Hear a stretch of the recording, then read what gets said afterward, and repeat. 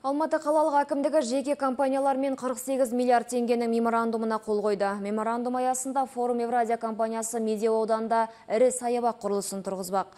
Орта Азиядағы ең ірі ойын сауық орталығының жанында сауда кешені салтанат залында орын теппек. Бұл өз кезегінде 2000 жаңа жұмыс орнының ашылуына мүмкіндік береді. Алматыға инвестиция құюға қызыққан компаниялардың бірі ITSA жауапкершілігі шектеулі серіктестігі.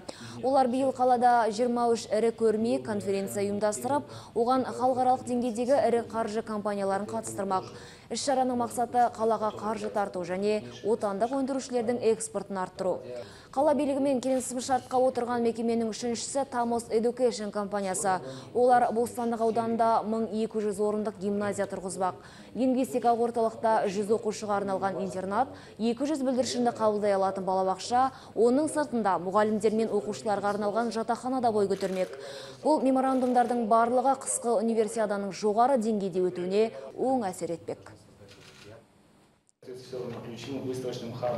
Алматы көрмелері хабы, қала экономикалық қаржы орталығы болып қала береді. Біз осыдан 24 жыл бұрын өз бизнесімізді осында бастадық. Үнемі сараптама жасап отырамыз. Білетін барлық шетелдік компаниялар Алматы нарығына инвестиция құюға қызығады. Жыл сайын қалада ұйымдастырылған көрмеге Қырғызстан, Өзбекстан сынды елдерден жалпы орталық Азиядан келген адамдардың саны 50 мыңға дейін жетеді.